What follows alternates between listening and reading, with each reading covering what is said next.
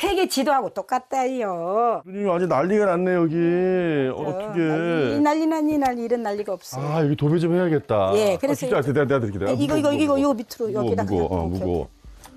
아이고 매. 어우 으아 으아 으아. 오매 완전히 그냥 무슨. 개차반이에요. 아이고 난리 나시오.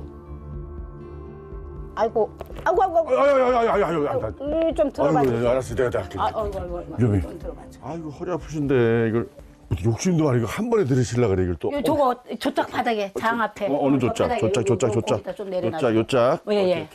아유 고마워요. 네, 요짝, 요짝에. 오케이. 누님 이게 지금 15년 된 거네 이 벽이, 그쵸? 여기 아니지 도, 도배는 야는 나이가 나이가 몇 살이에요? 18살이니까 18년 된 애기지. 18살이에요. 네. 이 오두막 치인 지 18년째니까. 그러니까 집이 오래돼서 곰팡이 꽃이 활짝 피었습니다. 임시 방편이라도 도배를 하고 싶다는 성희 씨를 위해 제가 두 팔을 걷어붙이고 나섰습니다.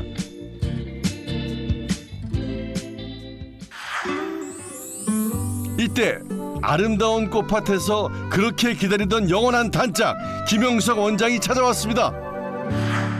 창훈 형님 어디 계세요? 제대로 찾아온 거 맞나요? 창훈 형님 원장님 왔다.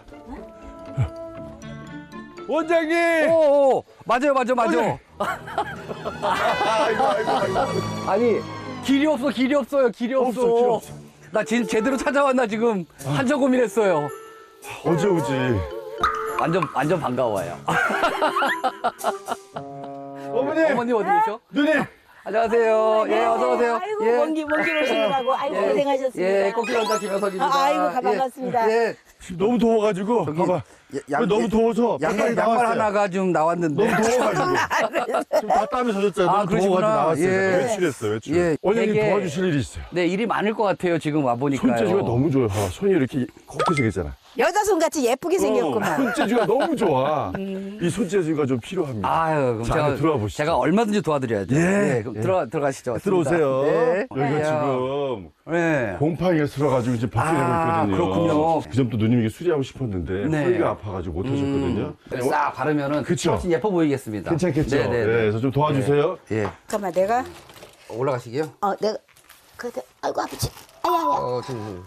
우와 어이구, 괜찮으세요? 에, 에, 잠깐만 원장님과 성희 씨가 합을 맞춰 봅니다. 붙이는 벽지는 한 번 잘못 붙이면 재사용이 힘들어서 잘 맞춰서 붙여야 하는데요. 음, 잘하시네요. 이렇게 해야 될 것 같아요. 금손인 원장님과 예전에 도배했던 기억을 떠올려서 저도 큰 보탬이 됐습니다. 어때요? 잘 붙였죠? 감쪽 같죠? 마지막으로 포인트 벽지까지 발라주면 도배 끝입니다. 어, 멋있어요, 멋있어. 어때요? 잘 어, 넣었어. 좋네. 네, 포인트. 이거 큰일 났다 나 밤에 사모르게 생겼네 이거 쳐다보느라고 여기 막 곰팡이 막 엉망이었잖아 네. 근데 이렇게 해주니까 너무 감사하고 고마워요 아유, 좋아요.